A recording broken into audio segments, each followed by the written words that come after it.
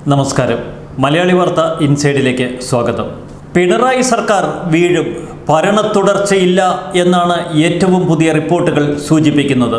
കാര്യങ്ങൾ ഇങ്ങനെയൊക്കെയാണെങ്കിൽ അടുത്ത നിയമസഭാ തെരഞ്ഞെടുപ്പിൽ പിണറായി വിജയൻ വീണ്ടും മുഖ്യമന്ത്രിയാകില്ല. ഇടതുപക്ഷത്തിന് ഭരണ തുടർച്ചയും ലഭിക്കില്ല എന്ന് വ്യക്തം. സംസ്ഥാന പോലീസ് സ്പെഷ്യൽ ബ്രാഞ്ചും പാർട്ടി നിയോഗിച്ച രഹസ്യ സംവിധാനങ്ങളുമൊക്കെ റിപ്പോർട്ട് നൽകിയിരിക്കുന്നത് നെഗറ്റീവായാണ്. പിണറായി വിജയന്റെ പബ്ലിക് റിലേഷൻസ് വിഭാഗവും നൽകുന്ന റിപ്പോർട്ട് ഇത്തരത്തിൽ തന്നെയാണ്. കാര്യങ്ങൾ ഒട്ടും ശുഭകരമല്ല. നാലു മാസം മുൻപ് ഇരട്ടച്ചങ്ങൻ പിണറായി വിജയൻ വീണ്ടും അധികാരത്തിൽ വരുമെന്നും കേരളത്തിൽ ഭരണ തുടർച്ചയുണ്ടാകുമെന്നും ഒരു ചാനൽ പ്രഖ്യാപിച്ചിരുന്നു. എന്നാൽ എല്ലാം ചീട്ടുകൊട്ടാരം പോലെ തകരുന്ന ഒരു കാഴ്ചയാണ് നമ്മളിപ്പോൾ കാണുന്നത്. സർക്കാരിന്റെ ഇമേജ് തകർന്നടിഞ്ഞു. ഭരണ തുടർച്ചയുണ്ടാകില്ല പഞ്ചായത്ത് തെരഞ്ഞെടുപ്പിലും ഇടതുമുന്നണിക്ക് നേട്ടമുണ്ടാകില്ല എന്നാണ് ഏറ്റവും പുതിയ റിപ്പോർട്ടുകൾ അവർക്ക് ലഭിച്ചിരിക്കുന്നത്. ഇത്തരം ഒരു കോലത്തിൽ ഈ സർക്കാരിനെ കൊണ്ടുചെന്ന് പെടുത്തിയത് സ്വപ്ന സുരേഷും ജലീലും ഒക്കെ ചേർന്ന്. കെ ടി ജലീലിനെ സംരക്ഷിച്ചത് പാർട്ടിക്കും മുഖ്യമന്ത്രിക്കും ഏറെ വിനയായി എന്നാണ് റിപ്പോർട്ടുകൾ സൂചിപ്പിക്കുന്നത്. ശിവശങ്കറിന്റെ ചെയ്തികളും കോടിയേരി ജയരാജൻ മക്കളുടെ അടക്കിവാഴ്ചയും പിണറായി സർക്കാരിന്റെ തൊലിയുരിച്ചു. സ്വർണക്കള്ളക്കടത്തിൽ സർക്കാരിന് ഗുരുതര വീഴ്ചയുണ്ടായി എന്നു തന്നെയാണ് പൊതുജനം കരുതുന്നത്. സമീപകാലത്തെ കള്ളക്കടത്ത് വാർത്തകളും സ്വപ്ന സുരേഷിന്റെ തിരുവനന്തപുരത്തെ അന്തപുരവാസവുമെല്ലാം സ്ത്രീ വോട്ടർമാർക്കിടയിൽ വലിയ ചലനമാണ് ഉണ്ടാക്കിയിരിക്കുന്നത്.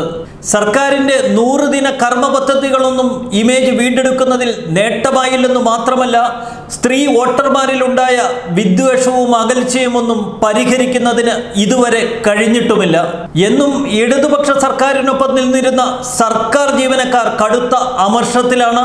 ശമ്പളം പിടിച്ചതിനൊപ്പം പിടിച്ച തുക പി എഫിൽ ലയിപ്പിക്കാനുള്ള നീക്കം ജീവനക്കാരെ ചൊടിപ്പിക്കുന്നു. മന്ത്രി ശൈലജ ഉണ്ടാക്കിയ കോവിഡ് പ്രതിരോധ ഇമേജൊക്കെ തകർന്നടിച്ചിരിക്കുന്നു.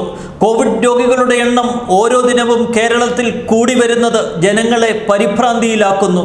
കരുതലൊക്കെ പോയി എന്നതാണ് ഗ്രാമങ്ങളിലെ ഒരു നാട്ടുവർത്തമാനം. നിഷ്പക്ഷമതികളുടെയും യുവജനങ്ങളുടെയും വിശ്വാസ്യതയിൽ വന്ന തകർച്ചയാണ് സർക്കാരിനു നേരിടേണ്ടി വന്ന ഏറ്റവും വലിയ ദുരന്തം.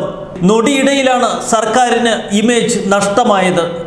കഴിഞ്ഞ നാലര കൊല്ലവും ഒരുവിധമൊക്കെ പിടിച്ചു നിന്നിരുന്നു പിണറായി സർക്കാർ. എന്നാൽ സ്വപ്ന സുരേഷിന്റെ ആ വരവോടെ കാര്യങ്ങളൊക്കെ കീഴ്മേൽ മറിയുകയായിരുന്നു. വിദഗ്ധർ പറയുന്നത് നിഷ്പക്ഷരുടെ ഒരു പത്തു ശതമാനം വോട്ടിന്റെ കുറവ് ഇടതുമുന്നണിക്ക് വരുമെന്നാണ്. അങ്ങനെയെങ്കിൽ അൻപത്തിയഞ്ച് സീറ്റിൽ താഴെ മാത്രമേ ഇക്കുറി നിയമസഭയിൽ നേടാൻ കഴിയത്തുള്ളൂ. അതുതന്നെയാണ് ഏറ്റവും വലിയ ദുരന്തമാകുന്നതും. തെക്കൻ ജില്ലകളിൽ മാത്രമല്ല മലബാറിലും സർക്കാർ വിരുദ്ധ വികാരം ആഞ്ഞടിക്കുകയാണ്. മധ്യ തിരുവിതാംകൂറിൽ എത്ര സീറ്റ് കിട്ടും എന്നുള്ളത് ഇടതുപക്ഷത്തിനും വലതുപക്ഷത്തിനും ജോസ് കെ മാണിയുടെ നിലപാടിനെ ആശ്രയിച്ചിരിക്കും എന്നാണ് നിരീക്ഷകർ കണക്കുകൂട്ടുന്നത്. സംസ്ഥാനത്തെ ഞെട്ടിക്കുന്ന മറ്റൊരു യാഥാർത്ഥ്യമുണ്ട്. അത് കെ സുരേന്ദ്രന്റെയും ബി ജെ പിയുടെയും വളർച്ചയാണ്. കള്ളക്കടത്ത് ലൈഫ് മിഷൻ സംഭവങ്ങളിൽ സർക്കാരിനെതിരെ അതിശക്തമായ പ്രക്ഷോഭമാണ് കെ സുരേന്ദ്രന്റെ നേതൃത്വത്തിൽ ബി ഇവിടെ നടത്തിയത്. ഏറ്റവും ഒടുവിൽ കെ ടി ജലീലിനെതിരായ സമരവും കൊഴുപ്പിച്ചത് കെ സുരേന്ദ്രന്റെ നേതൃത്വത്തിലാണ്. മഹിളാ മോർച്ച പ്രവർത്തകർ ഉൾപ്പെടെയുള്ളവരുടെ ആവേശമൊന്നും കേരളം അത്ര പെട്ടെന്ന് മറക്കില്ല. സുരേന്ദ്രന്റെ പൊടുന്നനെയുള്ള ഈ കടന്നുവരവ് ഇരുമുന്നണികളെയും ഞെട്ടിച്ചിരിക്കുകയാണ്. അതിനിടയിലാണ് കെ ടി ജലീലിനോട് പിണറായി വിജയനും കോടിയേരിയും സി പി എമ്മും ഒക്കെ കാണിക്കുന്ന ഈ അമിത പ്രേമം. ഇതിനെ ചിലർ ഉപമിക്കുന്നത് മുൻപ് മദനിയോട് പിണറായി കാട്ടിയ സ്നേഹം കൊണ്ട് സി പി എമ്മിനുണ്ടായ നഷ്ടത്തോടാണ്. എന്തായാലും ഈ കെ ടി ജലീൽ പ്രേമം ഇടതുപക്ഷത്തെ ഒരു വിഭാഗം ഹൈന്ദവ വോട്ടുകളിൽ വ്യതിയാനം വരുത്തും എന്നാണ് നിരീക്ഷകർ പറയുന്നത്. അടുത്ത നിയമസഭാ തെരഞ്ഞെടുപ്പിൽ ഒരുപക്ഷെ നാലോ അഞ്ചോ സീറ്റ് വരെ നേടിയെടുക്കാൻ ഇതുകൊണ്ട് ബി ജെ പിക്ക് ഇടവരുത്തും എന്ന് തന്നെയാണ് വിലയിരുത്തപ്പെടുന്നത്. മുൻപ് ശബരിമല വിഷയത്തിൽ സർക്കാരിനെതിരെ ഉണ്ടായ പ്രതിഷേധങ്ങളെക്കാൾ ശക്തമാണ് ഇപ്പോൾ ജനങ്ങൾക്കിടയിലുള്ള ഒരു വികാരം. ത്രിതല പഞ്ചായത്ത് തെരഞ്ഞെടുപ്പിലും ബി ജെ പി മോശമല്ലാത്ത ഒരു നേട്ടമുണ്ടാക്കിയാൽ അത് വരുന്ന നിയമസഭാ തെരഞ്ഞെടുപ്പിനെ അടിമുടി ബാധിക്കും. അതുതന്നെയാണ് എൽ ഡി എഫിനും യു ഡി എഫിനും കൂടുതൽ തലവേദനയുണ്ടാക്കുന്നത്. സമീപ ദിവസങ്ങളിൽ കേരളത്തിലെ പ്രതിപക്ഷമെന്നത് ബി ജെ പി എന്ന നിലയിൽ പോലും പ്രതീതിയുണ്ടാക്കി. അത്രയേറെ സമരപരിപാടികൾ ആസൂത്രണം ചെയ്യുന്നതും അത് കൃത്യമായി നടപ്പാക്കുന്നതിലും സുരേന്ദ്രനടക്കം ബി ജെ പി നേതാക്കൾ വിജയിച്ചു എന്ന് വേണം കണക്കുകൂട്ടാൻ. വനിതകൾ ഉൾപ്പെടെയുള്ള നൂറുകണക്കിന് പ്രവർത്തകർ തെരുവിലേക്ക് ഓടിയെത്തുന്നതും പോലീസിനെ നേരിടുന്നതും ജലീലിനെതിരെ പ്രതിഷേധക്കോട്ട ഒരുക്കുന്നതുമൊക്കെ ഒരു നടുക്കത്തോടെ മാത്രമാണ് ഈ ദിവസങ്ങളിൽ കേരളം കണ്ടത്. യു ഡി എഫും പ്രത്യേകിച്ച് കോൺഗ്രസും അതിശക്തമായ സമരപരിപാടികൾ ആസൂത്രണം ചെയ്ത് നടപ്പിലാക്കിയെങ്കിലും ഈ പോരാട്ടത്തിൽ ഒരിഞ്ച് കെ സുരേന്ദ്രനും ബി ജെ പിയും മുന്നിട്ട് നിന്നു എന്നിടത്താണ് സുരേന്ദ്രന്റെ വിജയം. കൃത്യമായ രാഷ്ട്രീയ മേൽക്കൈ യു ഡി എഫിന് ഇപ്പോൾ ഉണ്ട് എന്ന് വിദഗ്ധർ പറയുമ്പോഴും യു ഡി എഫിനുള്ളിലെ മുഖ്യ പാർട്ടിയായ കോൺഗ്രസ് ഏതു തരത്തിലാവും തെരഞ്ഞെടുപ്പിനെ നേരിടുന്നത് എന്നതാണ് ഏറ്റവും വലിയ പ്രശ്നം.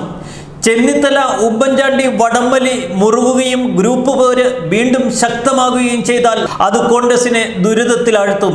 ചെന്നിത്തല ഉമ്മൻചാണ്ടി വടംവലി പാർട്ടിയിലെ ഉൾപാർട്ടി പോരായി മാറുമോ? കൂടുതൽ വടംവലിയിലേക്ക് കാര്യങ്ങൾ ചെന്നെത്തുമോ എന്നത് ഇപ്പോൾ പ്രവചിക്കാനാവില്ല. അടുത്ത നിയമസഭാ തെരഞ്ഞെടുപ്പിലും തുടർന്ന് മുഖ്യമന്ത്രി തെരഞ്ഞെടുപ്പിലുമൊക്കെ രാഹുൽ ഗാന്ധിയുടെ നിലപാടും ഇവിടെ ഏറെ പ്രാധാന്യമർഹിക്കുന്നതാണ്. സ്വർണക്കള്ളക്കടത്തോടെ ജനം സർക്കാരിനെതിരെ തിരിഞ്ഞു എന്ന് മാത്രമല്ല സർക്കാരിനെ വെറുത്തു തുടങ്ങി എന്നതാണ് അവസ്ഥ. കള്ളക്കടത്തിന്റെ വിഹിതം പല നേതാക്കളും മന്ത്രിമാരുമൊക്കെ കൈക്കലാക്കി എന്നു തന്നെയാണ് ജനങ്ങളിൽ ഒരു വിഭാഗം ഇപ്പോഴും പൂർണമായി വിശ്വസിക്കുന്നത്. കേന്ദ്ര അന്വേഷണ ഏജൻസികൾ ഇക്കാര്യം പുറത്തു കൊണ്ടുവരും എന്ന് തന്നെ ഉറച്ചു വിശ്വസിക്കുകയാണ് ജനങ്ങൾ.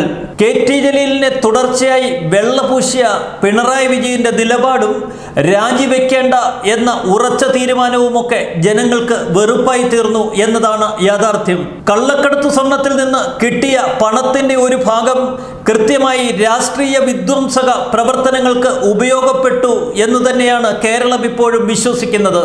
ഈ അടുത്ത ദിവസങ്ങളിൽ തീവ്രവാദികളെ പിടികൂടിയതിലും സ്വർണക്കള്ളക്കടത്ത് ഇടപാടുകളുമായും ഇവർക്ക് തമ്മിൽ ബന്ധമുണ്ട് എന്ന് ജനം കരുതുന്നു.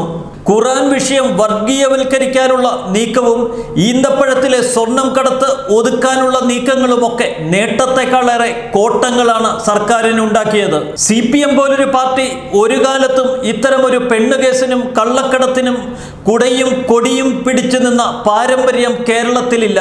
വി എസ് അച്യുതാനന്ദനായിരുന്നു മുഖ്യമന്ത്രിയെങ്കിൽ അപവാദ കഥ വരുന്ന അപ്പോൾ തന്നെ കെ ടി ജലീലിനെയും ഇ പി ജയരാജനെയും കടകംപള്ളിയെയും ഒക്കെ മന്ത്രിസഭയിൽ നിന്ന് പുറത്തിറക്കി നിർത്തിയനെ എന്നാണ് ജനങ്ങൾ കരുതുന്നത്. മുഖ്യമന്ത്രിയുടെ പൊതുദാർഷ്ട്യം മാധ്യമങ്ങൾ കൂടുതൽ പെരുപ്പിച്ചു. ഇത് ജനങ്ങൾക്കിടയിൽ കൂടുതൽ സംശയങ്ങൾക്കിടവരുത്തി എന്നും വിദഗ്ധർ പറയുന്നു. മുഖ്യമന്ത്രിയുടെ പല നിലപാടുകളും പൊതുജനങ്ങളെക്കാൾ കൂടുതൽ മാധ്യമ പ്രവർത്തകർക്കിടയിൽ മുഖ്യമന്ത്രിയോട് അകൽച്ചയ്ക്കും വെറുപ്പിനും കാരണമായി. ഇടതുപക്ഷ മാധ്യമങ്ങൾ പിണറായി വിജയനെ ഒരു വൻ അവതാരമായി വാഴ്ത്തിപ്പാടുമ്പോഴും വെള്ളപൂശുമ്പോഴും നിഷ്പക്ഷരായ ജനങ്ങൾ മാധ്യമങ്ങളോട് പുലർത്തുന്ന ധിക്കാര സമീപനത്തെ ശക്തമായി എതിർക്കുന്നു എന്നതാണ് വസ്തുത. ഖുറാനും ഈന്തപ്പഴവും ഒക്കെ വിവാദമായി മാറുന്നു. സംസ്ഥാനത്തിലെ ഒരു മന്ത്രി മണിക്കൂറുകളോളം കേന്ദ്ര അന്വേഷണ ഏജൻസിയുടെ മുൻപിൽ ചോദ്യം ചെയ്യലിന് വിധേയനാവേണ്ടി വരുന്നു. ഇത്തരം ദുരന്തങ്ങളൊക്കെ വേട്ടയാടിയ സർക്കാരിന് ഒരു ജനപ്രീതി ഉണ്ടാക്കിയെടുക്കുക ഇനി അത്ര എളുപ്പമല്ല.